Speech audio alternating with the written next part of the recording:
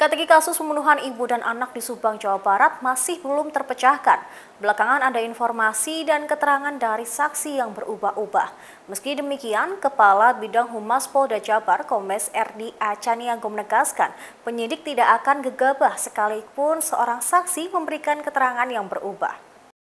Pelansir Kompas.com, RD yang ditemui di Geraha Bayangkara Kota Bandung pada Selasa 2 November mengatakan Polres Subang masih terus melakukan pemeriksaan terkait keterangan dari para saksi. Saat ini polisi masih mengupayakan untuk mencari kesesuaian terhadap informasi-informasi tersebut. Polisi menyesuaikan antara keterangan saksi dan bukti-bukti yang ditemukan dalam penyelidikan. Ia meminta masyarakat untuk bersabar menunggu hasil kasus ini yang akan mengerucut pada pelaku pembunuhan korban Tuti Suhartini dan Amalia Mustika Ratu. Mengenai keterangan yang berubah-ubah tersebut, Erdi menyebutkan ada kalanya seseorang tidak fokus ketika melihat sesuatu. Menurut Erdi, penyidik tidak akan gegabah sekalipun seorang saksi memberikan keterangan yang berubah. Sementara itu, mengenai kesaksian Danu yang diajak oleh orang yang diduga banpol ke dalam TKP atau rumah korban, Eri mengatakan pihak kepolisian fokus pada hasil penyelidikan, temuan, serta petunjuk yang sudah didapatkan. Kemudian mengenai petunjuk baru dalam misteri kasus pembunuhan ibu dan anak ini, Erdi menjawab bahkan hal itu merupakan ranah penyidik.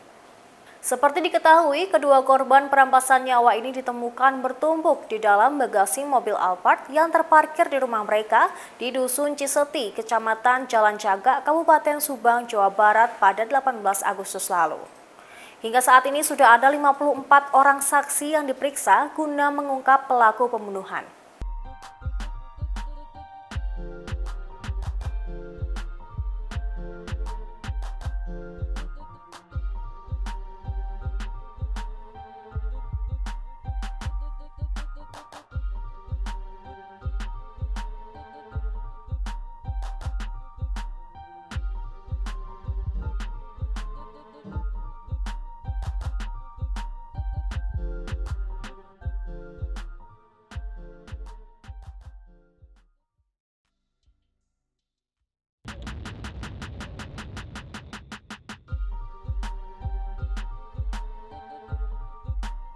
Sekian informasi Wiki Update kali ini. Nantikan informasi lainnya hanya di kanal YouTube Tribunnews Wiki Official. Terima kasih sudah nonton. Jangan lupa like, subscribe, dan share ya.